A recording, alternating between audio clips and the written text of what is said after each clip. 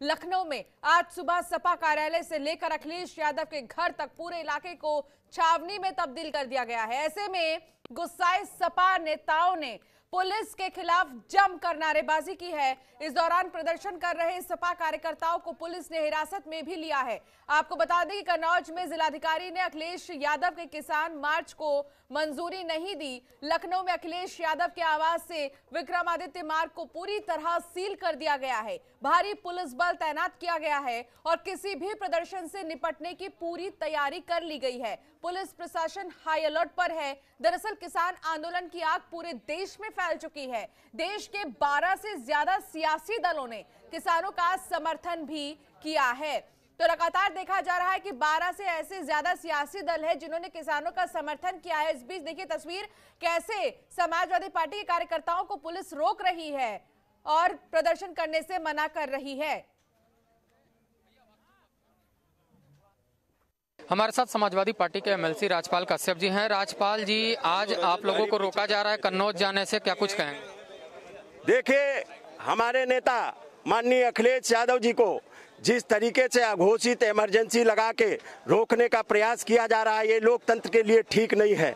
और लोकतंत्र में अगर किसान की आवाज़ कोई उठाना गुनाह है गरीब की आवाज़ उठाना गुनाह है तो वो समाजवादी पार्टी ने किसानों के लिए समर्थन में पूरे प्रदेश में किसान यात्रा निकालने का राष्ट्रीय अध्यक्ष जी का निर्देश था। और राष्ट्रीय अध्यक्ष जी खुद माननीय कन्नौज जा रहे थे। और जिस तरीके का पुलिस ने बैरिगेटिंग लगा के घोषित इमरजेंसी जैसी बना दी है और जिस तरीके का अन्याय पुलिस प्रशासन कर रहा है और रोक रहा है, हम लोग जाना चाहते हैं। लगातार पुलिस रोक रही है और ये आज किसान बहुत बदहाल है, गरीब है और ये बीजेपी सरकार किसानों के खिलाफ है। कहाँ कहाँ, आप आप आप नहीं रोक सकते। विरोध करना हमारा लोग सरकार के गलत फैसलों के खिलाफ, विरोध करना हमारा लोकतांत्रिक अधिकार है। ये कोई सरकार हमसे छीन नहीं सकती। तो एक तरफ़ लगातार किसानों का धरना प्रदर्शन जारी है तो दूसरी तरफ़ समाजवादी पार्टी अपना समर्थन इन किसानों को दे रही है और ऐसे मौके पर जब उन्होंने ये सोचा है, पार्टी ने जब ये सोच लिया है कि किसानों के समर्थन में वो भी पद यात्रा निकालेंगे, लेकिन प्रशासन की तरफ़ से अब उन्हें रोका जा रहा है। अवनीश, हमारे संवाददाता हमारे साथ जुड़ गए हैं। ज़्यादा बातचीत के लिए अवनीश, फ़िलहाल क्या ताज़ा तस्वीर देखी जा रही है? क्योंकि अब समाजवादी पार्टी के जितने भी कार्यकर्ता है, उन्हें तो रोक दिया गया है। कैसे आवाज़ बुलंद करेंगे किसानों के समर्थन में। जी बिल्कुल हंसिका इस समय हम लखनऊ के विक्रमादित्य मार्ग पे हैं। यहाँ से गौतम पल्ली थाने से लेकर समाजवादी पार्टी कार्यालय तक पूरी तरह छावनी में तब्दील कर दिया गया है।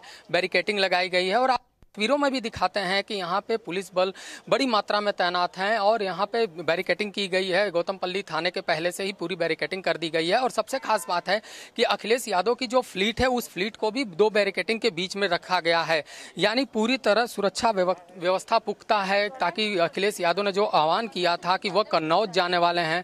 कन्नौज न जा पाए, उसको लेकर पुलिस प्रशासन देर रात से यहाँ बैरिकेटिंग लगा रही थी। पूरे इलाके को छावनी में तब्दील कर दिया गया और पुलिस प्रशासन के जितने भी आला अधिकारी हैं, वो वो खुद यहाँ पे मौजूद हैं। और आपको सबसे खास बात बताते हैं कि आज 11 बजे अखिलेश यादव वहाँ पे किसान यात्रा निकालने वाले थे और कन्नौज में मंडी से लेकर किसान बाज़ार तक यह यात्रा निकाला जाना था। किसान आंदोलन के समर्थन में लगातार अखिलेश यादव बा, अपनी बात भी, भी रख रहे थे। और सबसे खास बात आपको बताते हैं कि यहाँ पे समाजवादी पार्टी कार्यालय है और सपा के राष्ट्रीय अध्यक्ष अखिलेश यादव का आवास है। वहाँ से निकलने की कोई व्यवस्था नहीं है। पूरी तरह अखिलेश यादव को नजरबंद भी रखा गया है। तो पूरी तरह प्रशासन ने अपनी तरफ़ से तैयारी कर ली है। हालाँकि 11 बजे कन्नौज में कार्यक्रम था लेकिन उससे पहले समाजवादी पार्टी के तमाम कार्यकर्ताओं को तमाम नेताओं को गिरफ़्तार किया गया है और आज विक्रमादित्य मार्ग पे एमएलसी उदयवीर सिंह आसू मलिक और राजपाल कश्यप को भी पुलिस गिरफ़्तार करके ले गई और तमाम जो कार्यकर्ता थे उनको भी गिरफ़्तार करके ले गई। तो आंदोलन चूँकि ग्यारह बजे शुरू होना था लेकिन ग्यारह बजे तक लखनऊ में ही अखिलेश यादव यहाँ पे मौजूद है। और माना जा रहा है कि अखिलेश यादव कुछ ही देर में सड़क पे उतरेंगे और अपनी बात मीडिया के सामने रखेंगे। तो कुल मिलाकर किसान आंदोलन जो है उसको समर्थन देने के लिए पूरा विपक्षी दल एक हो चुका है समाजवादी पार्टी की वजह से जो मंडियाँ हैं वो सबसे ज़्यादा प्रभावित हो रही हैं। व्यापारी परेशान है कोई आमदनी कोई मतलब कोई इनकम नहीं हो रहा है फ़िलहाल। तो ऐसे में क्या व्यापारी भी इस पूरे प्रदर्शन में अपना समर्थन देने पहुँचेंगे किसानों के बीच? जी बिल्कुल। देखिए आठ दिसंबर को किसानों ने भारत बंद का आह्वान किया है। उससे पहले तमाम किसान व्यापारी भी जो हैं जो मंडी के व्यापारी हैं उन्होंने समर्थन देने की बात कही है। और किसानों को चारों तरफ़ से समर्थन मिलता हुआ दिख रहा है। अगर बात करें विपक्षी दल को तो चाहे आम आदमी पार्टी हो चाहे कांग्रेस हो चाहे समाजवादी पार्टी हो चाहे बहुजन समाज पार्टी हो सभी ने किसान आंदोलन को समर्थन दिया है। और सबसे खास बात यह है कि पूरी तरह विपक्ष एक है। विपक्ष के साथ तमाम जो ऐसे किसान संगठन है तमाम जो मंडी परिषद में तमाम जो संगठन है वो एक हो चुके हैं। और सभी सड़क पर उतरने की तैयारी कर चुके हैं। तो आठ दिसंबर को जब भारत बंद होगा तब देखने वाली बात होगी कि किस तरीके का पूरा आह्वान होता है किस तरीके का आंदोलन होता है और कितना हुजूम सड़क पे उतरता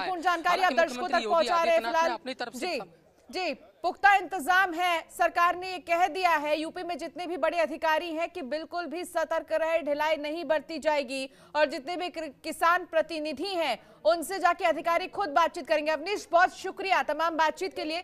खबरों में आगे बढ़ेंगे। किसानों के समर्थन में अब विपक्षी पार्टियाँ भी आ गई हैं। कांग्रेस नेता राहुल गांधी ने ट्वीट कर किसानों का समर्थन किया है। राहुल गांधी ने लिखा कि अदानी अंबानी कृषि कानून रद्द करने होंगे और कुछ भी मंजूर नहीं किया जाएगा।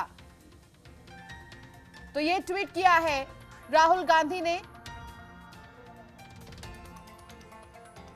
उन्होंने कहा है कि अडानी अंबानी कृषि कानून रद्द करने होंगे और कुछ भी मंजूर नहीं।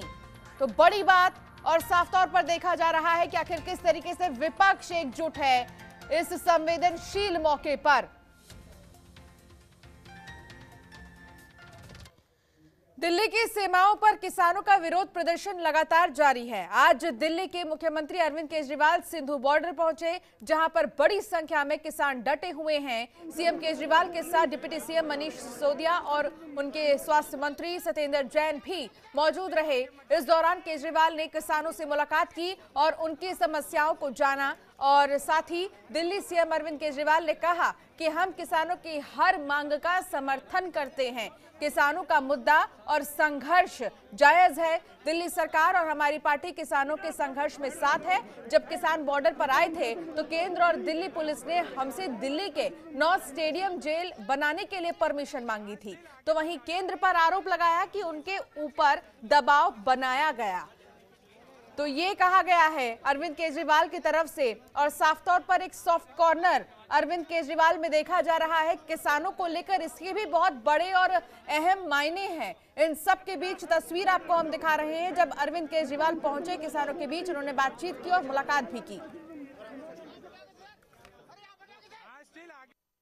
किसानों का मुद्दा और किसानों का जो संघर्ष है, वो बिल्कुल जायज़ है। शुरू से हम पूरी तरह से मेरी सरकार और हमारी पार्टी किसानों के संघर्ष में साथ रहे हैं। आपको याद होगा कि शुरू शुरू में जब किसान बॉर्डर पे आए थे तो